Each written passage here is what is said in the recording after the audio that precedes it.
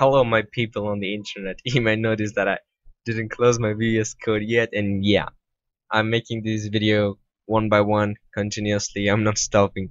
I'm not going anywhere. So yeah you may notice this is another video but for me it's just the same thing alright well yeah in the last setup we made our Elderny to run and that's a Congo for you guys. And now we're gonna set up our server se section.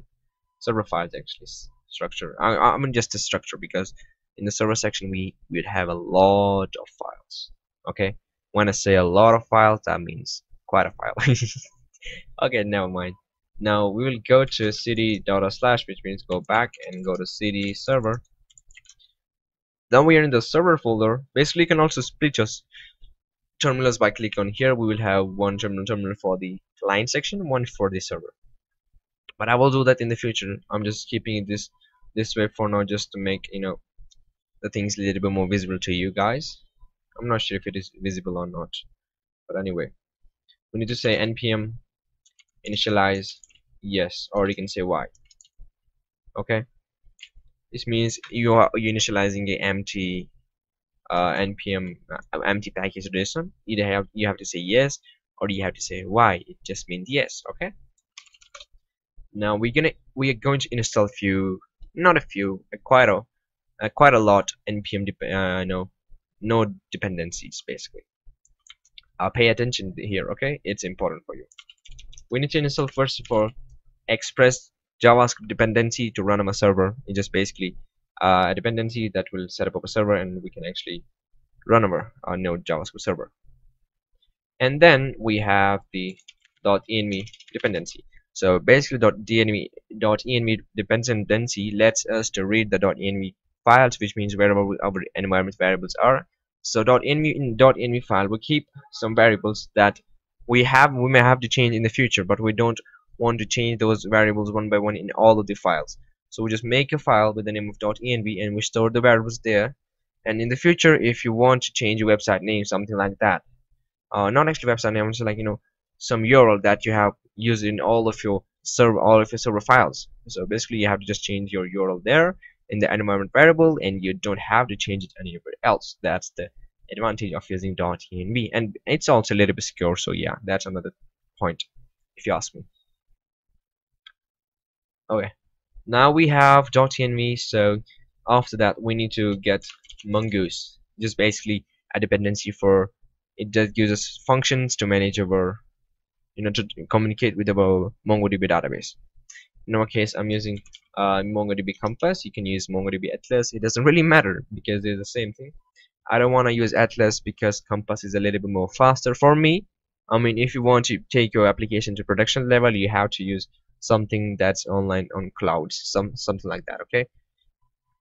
So for now I'm using the MongoDB Compass because it's on a local PC so we'll use Joi for validation validating our uh, MongoDB models. So what does validation mean let's suppose you uh, you want to register a user and for a registration user has to give you username password and email. And these things are necessary. Now how do you check if the user gave you these things and if they he gave you the proper things? What you what you're going to do normally is put put some if else statements. If requested body the phone is there or if requested body the password is there or if requested body the phone dot length is greater than this stuff like that. But that's when Joi comes in play. Basically you make a new schema kind of like structure in Joi. You exactly say what you want. You want the username to be minimum this maximum that blah blah stuff like that. And you just put your requested body directly into that function. And it will check if basically if all of the things are correct if the uh, data that we got from the server end from the client section uh, from the client sided from the client section if everything is correct then you can move ahead. If anything is wrong it will even throw, show you the correct you know uh, it will just show you the exact error what's the issue?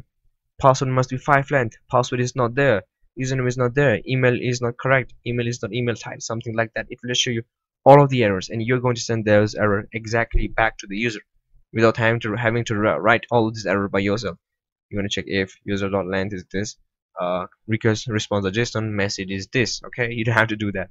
And that's the advantage and that's what I like.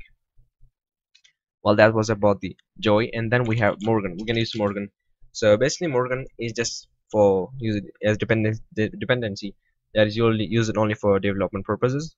It just basically you know console logs all of the requests that you're making to the server. It will show you what type of request someone is making to your API and uh, where the request is going and what was the response of the object and of the request. Not the full response just the status code. So basically it helps us to see if the request is being made or what happened to the request. So we get an understanding of someone is making request to the web server okay? That's a very advantage thing when you're developing something. And that's about the Morgan. And then we will have our CORS so basically CORS allow us to let another domain on another port uh, to actually communicate with our Node.js server. So by default our Node.js server will not allow it basically will not allow you to you know accept requests from another domains which you have you have not you're not you know allowing. So you have to set up a CORS middleware in your express.js and you have to mention the origin. You can mention all of the origins like your server is open to listen to requests from any domains anywhere or you can mention some specific domains specific domains in your origins. And uh, yeah that's about the CORS you can also mention credentials. True that means basically you're able to set the cookie stuff like that. Then we have cookie parser so cookie parser just basically allows us to read cookies from the server itself from the user side like user gives you some response and the cookie parser will allow you to read the cookies of that user and that's its job. Then we have body parser. So body parser just allows you to console log what type of what data is coming from the server. Like normally you will use express or json and it will work the same way but body parser has an has an advantage in this case. Let's suppose you want to console log response the body. You don't know what is coming back from the uh, request body. You don't know what is coming from the user end. So basically you want to see what type of data user is giving you. So for in that case we have to use body parser. We cannot use something else.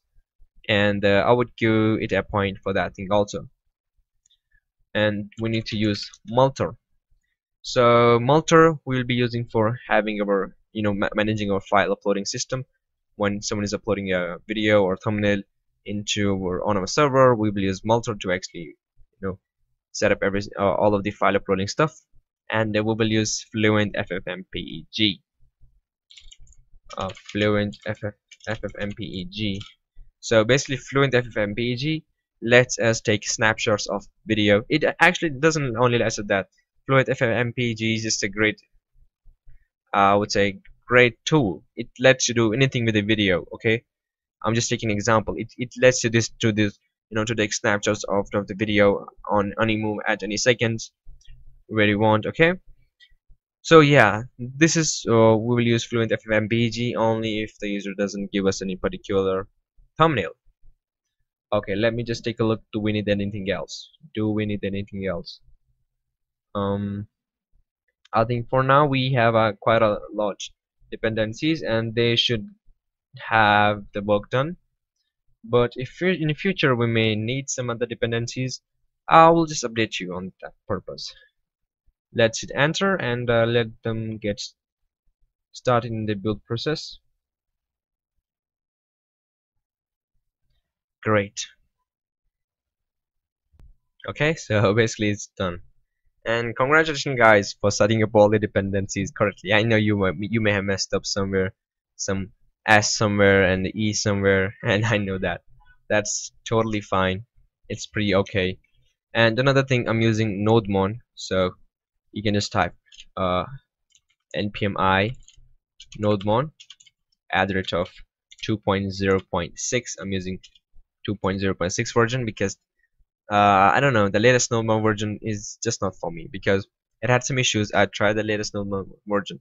It had some issues while starting the server so I just said oh no. I'm not doing that. I'm just going back to nodemon 2.0.6 because it automatically detects the you know file editing edits and it will automatically refresh your server. And I will consider that as an advantage if you don't consider that as an advantage itself. Well yeah. Other than that we are pretty good to go. So we set it up over package.json and these are the dependencies that we will be using Morgan Mongoose. I guess I'm uh, you know forgetting something. Uh, I'm just not getting it. So I actually do, do, do, do, do, do we need anything else? Do we need anything else? Oh yeah yeah yeah yeah. I forgot the main two main two dependencies. I was saying something is missing. I forgot the authentication dependencies. I forgot dependency of JSON Web Token I was saying I'm forgetting something but what is it? So we need to also install JSON Web Token JSON Web Token will basically give you JWT tokens. Uh, and the tokens have few things. It has the first of all the when it was created a payload whatever you're going to pass in the token and when it will be expired at. And basically the JSON Web tokens are used for authentication. You can send the JSON Web token to the server to the user cookies. You can add them to the cookie value and basically it will help us to log in log out users and that's about the JSON token we need another thing that's called bcrypt javascript. So bcrypt.js will actually hash our password and it will do two things. First of all it will hash our password. Hashing password means it will you know uh, uh, or convert our password value into some random strings. Not exactly not exactly not fully random but it will convert it, them into a string using some algorithms. Uh, SHA-256 I guess by default and after hashing them once we want to log in the user we will do what we'll use bcrypt.js dot compare method that will basically hash our new uh, hash the password that we're trying to uh, log in with. It will hash that. It will just get the old password that we saved in the uh, uh, database that was hashed before. It will compare both of them. Uh, usually if the values are totally the same the hashes should be fully same. And you will see okay the hashes are the same then okay you are good to go. You can just move ahead and that's about the bcrypt.js and JSON Web Token. We're gonna hit enter, and uh, yeah, let them install there, and there we go. We have two more things added here: JSON Web Token and the bcrypt JavaScript. So well, yeah, I guess that's probably it. Now we have to do what? We have to start setting up our other things.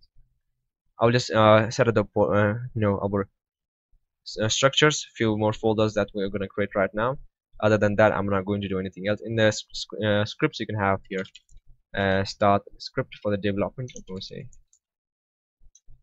uh, maybe like start this start script. Here you can just mention how you want to start your script. By default if you're going to start your script uh, while you have the you're in the development platform you should use PM2 it's very great but you're, if you're normally starting a script in your what do we say in a local here I'm going to say we're gonna use for that uh, nodemon index.js you don't even have to say it. You don't have to say npm style okay? You don't have to say it. If you're naming index.js as your main server file all you have to do is just type nodemon it will automatically detect the node index.js and it will automatically run your, all of your server. So we just have to say start script and just keep it there. We don't mind really much. Name is going to be Eldon YouTube okay no capitalization. Good. Now we'll make a few more folders right here in the server. First folder will be with the name of controllers. It will be it will be the folder where we are going to put all of our APIs we're going to manage all of our APIs right there. We'll make another folder. Make dir with the name of model. In this model folder we'll put all of our you know uh, models or collections structure. We'll define all of them in there schema stuff like that we'll make another folder with the name of validation. In the validation folder we'll put about Joi validation schemas so that we can call them and we can actually validate if the data we're getting from the user is actually what we want to save. So those are the three folders we have to make additionally in our server folder. And in the future video we will be seeing how to get a work done with them? But yeah see you in the next one. Bye bye